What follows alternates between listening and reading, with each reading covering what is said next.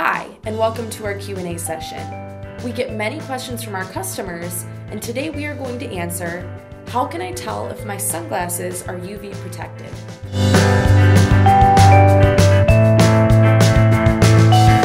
One of your options is to get a UV flashlight.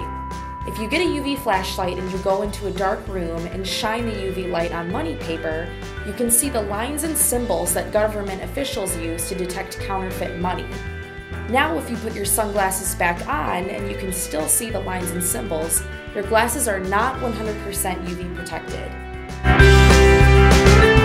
Another option is to bring your sunglasses to your local optometrist. They will usually have a device that can tell the prescription of any lenses, and they also will usually have a spectrometer. This device can tell the transmittance of UV light. If you have any questions or comments, you can post them below, or you can send us a message through Facebook or Twitter.